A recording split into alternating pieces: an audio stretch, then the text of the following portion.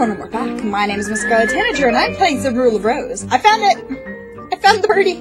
It's 12, so it's 112. Because orange and green put together was 100. Because it was 45 and 55. So 100 plus 12, 112. I was still close to begin with. Doo -doo -doo. We have to save the bird! No matter how quickly you do this, the outcome? Always the same.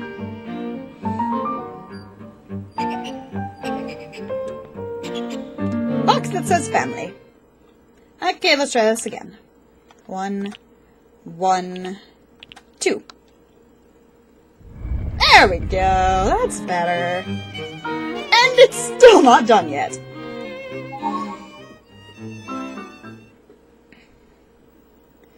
July 1930, Daily Flamingo.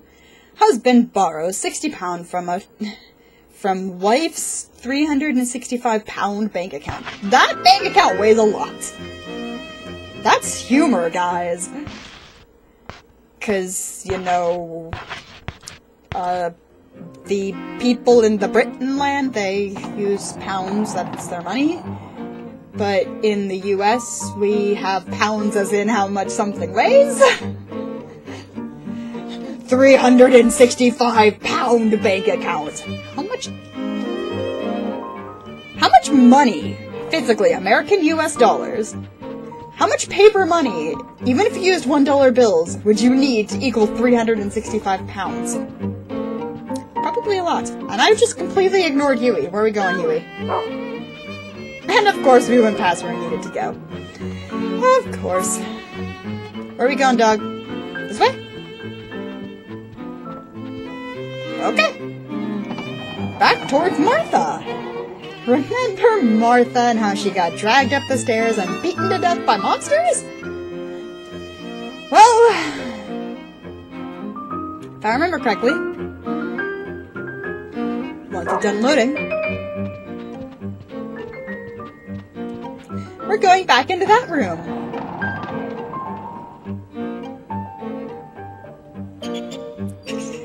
It's room nine. This room, this room is now my favorite room because it's room nine. Hey, look! Look who I found!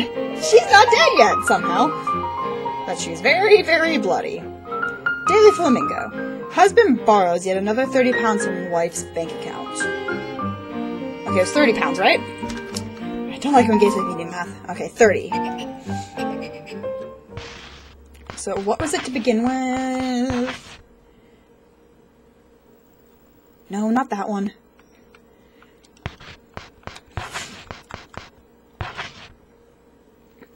Let's see. Man swipes 60 pounds from 365 pound bank. Okay, so 365 minus 60 minus 30 is 275. Yes. I think that's correct. Let's go see. I might have terrible math skills. I usually usually have good math skills, but then again, I'm tired. and reasons.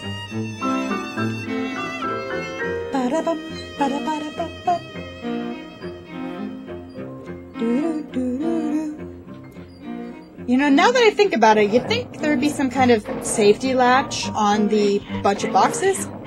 I don't want your red crayons! There, you think there'd be some kind of safety latch on the boxes in case something got stuck in there? Also, where did they get so many boxes with the combination locks that fit perfectly into each other? Because that's a lot of boxes. Especially because they look like they're solid metal, like iron combination locked boxes.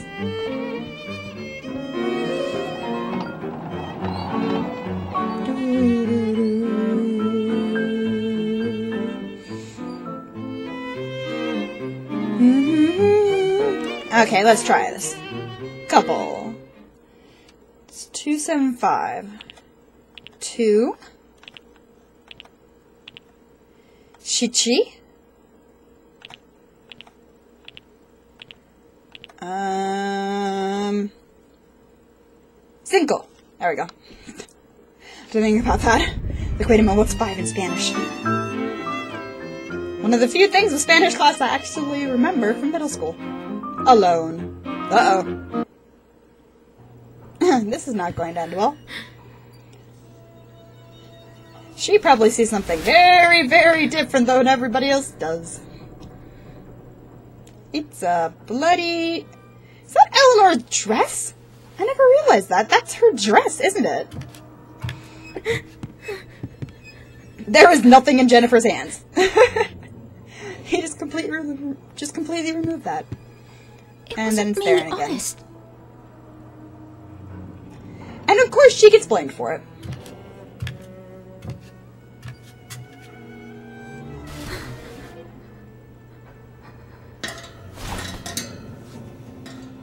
The bird's dead. Then again, it's implied that the bird is in, in fact not alive to begin with. It's implied that the bird is a stuffed animal. Because you see it later and it's stuffed. Not like a taxidermied bird. No, no, it's stuffed like a plushie or something. And hey, look, we're not in the man, or we're not in the fish blimp right now. This, what you're seeing right here, it's the attic from the beginning of the. How did you get there? How did you get there to that corner? You were not there before. You were downstairs.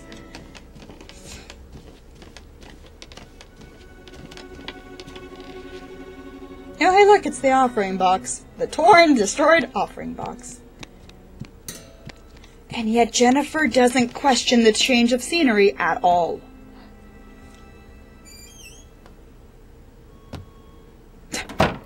Eleanor gives no fucks.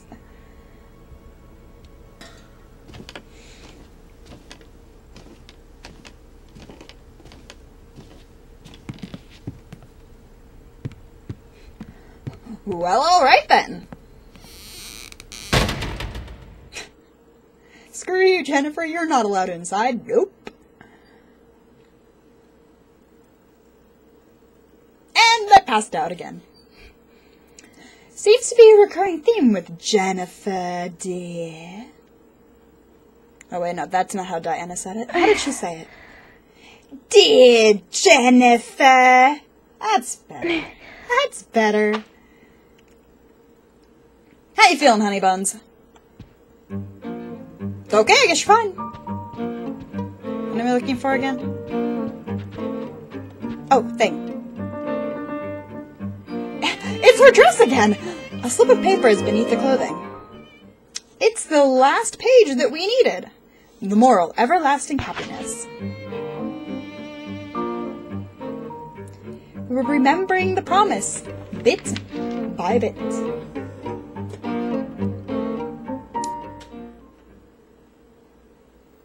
There we go. The bird of happiness. Once a girl found a big box. The bird of happiness was inside.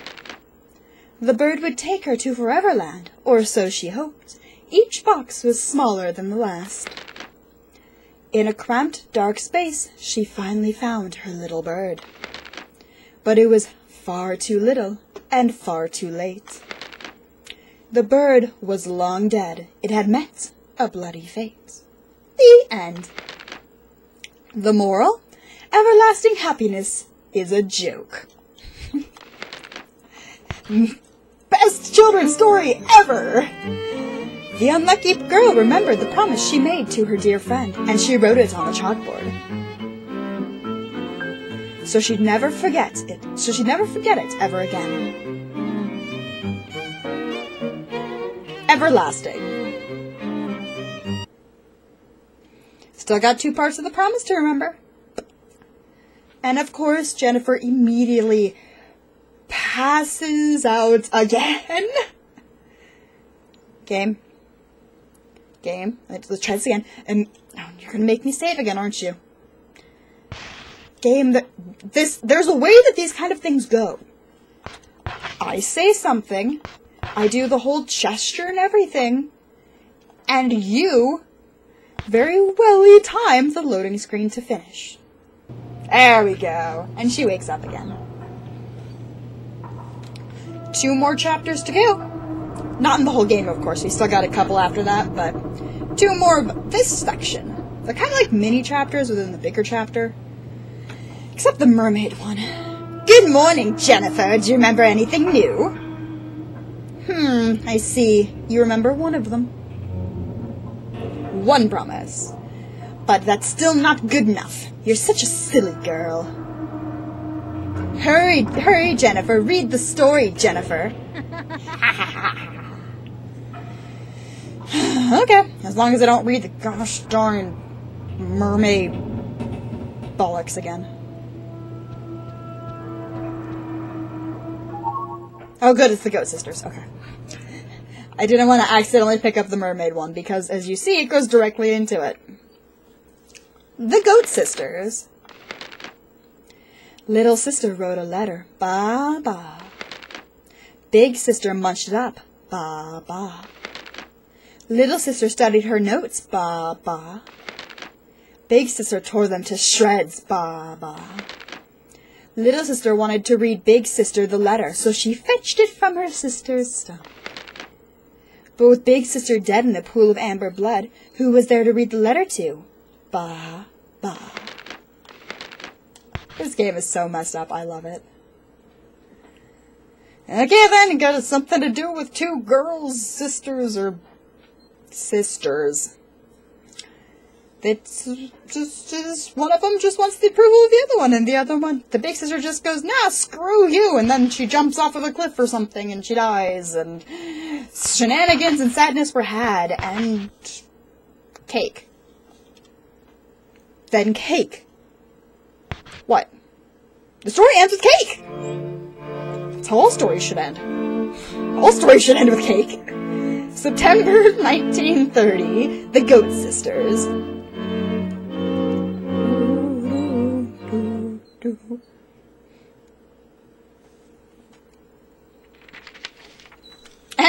She's teleported. At least she didn't pass out. When the unlucky girl woke up, the wise-looking princess was in the room. The princess said softly, Meg? Hmm. i Think that's her name? It's not here either. If someone else finds it, there must be something very important to you. Why don't you go find it? Oh no, I remember what happens at the end of this chapter. It's so delightfully messed. And again, this entire game is so delightfully messed. Meg's pencil. Well, I've got a dog here. Maybe we can find whatever you wrote with the pencil and then I can give it back to you. Because I'm a good person. Find... Might as well jump off... Jump? Dump all of this stuff. Dump that. Dump that. Dump that. And dump that. And equip. Equip that because steel pipe. Drop that and drop that. We'll keep the tin for now just in case I want to go find some biscuits. Oh. I guess we exit that way. Never mind. There's also something else over here. Lollipop! Lollipop chainsaw! Lollipops are good. Lollipops and chocolate are some of the best things that you can get because they restore a lot of health if I remember correctly, and we are definitely going to need it coming up soon. Frickin' mermaid chapter. This game is this game. This game is the sole reason for my utter hatred of mermaids. I don't like mermaids. Because of this game. And you'll see why when we get to the freaking mermaid chapter.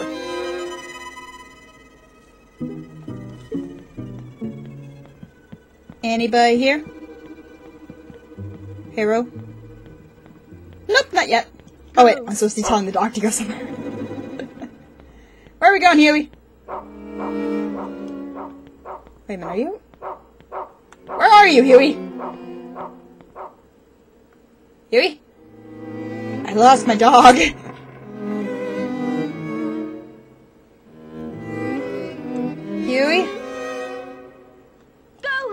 we going? Okay, we're going the right way. Never mind.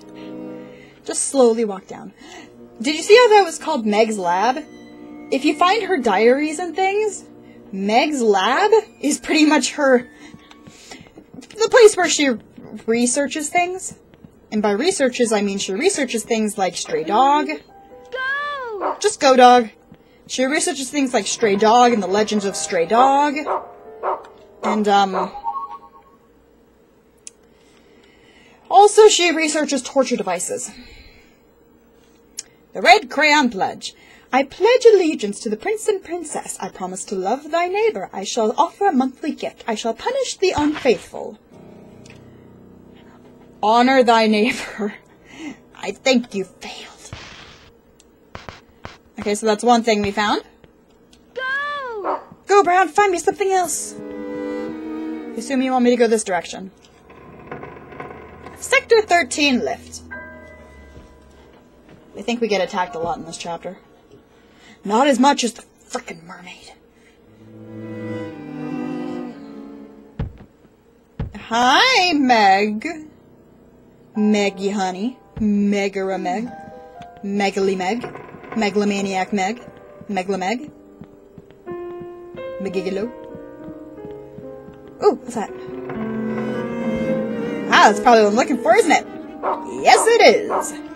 Je- Jennifer takes her a second. Stray dog list. Stray dog notes. The following are notes on the monster stray dog. As ascribed to us by the beautiful princess of the rose. He's big, strong, scarred, loyal, talkative, cleanly, and he kidnaps children who don't do their chores. Current tasks. Stray dog investigation. First floor restroom. Gather notes from rumors scribbled on the walls. Assigned to Susan. So she's investigating the stray dog legend that this princess of the rose keeps telling us about.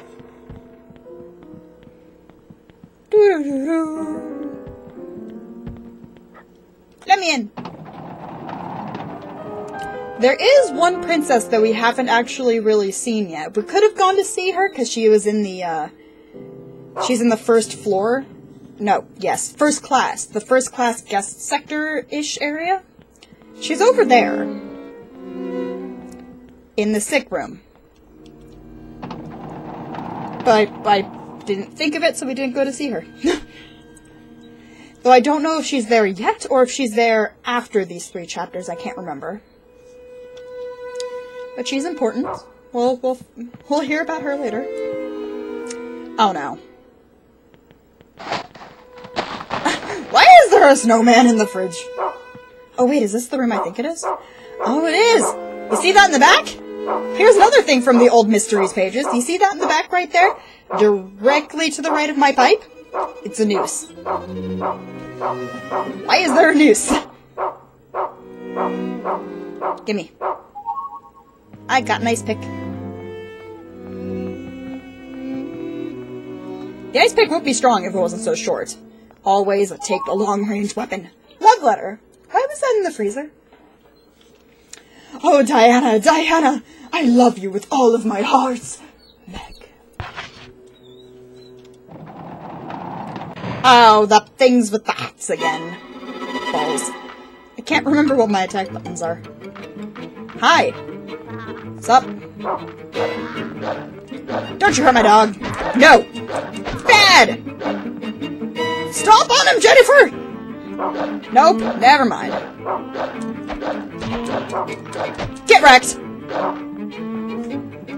Oh, I forgot that I can kind of move around. Sorry about that, guys. My roommate wanted to ask me if I needed to use the restroom before she took a shower, but... Boof! Boof! No! No, get off! No! Get off of me! Get off! Get off of Brown, help! S- Not nearly as yes- useful as Huey. Come here. Die! Oh, that didn't help. Also, you just got a first taste of what it looks like when you get attacked by one of the monsters. Yeah, it looks like they're humping you. It's uncomfortable, to say the least. Anyway, that gets us back to the end of the video, guys. My name is Miss Scarlet Tanager, and we are playing some Rule of Rose. I'll see you all in the next video.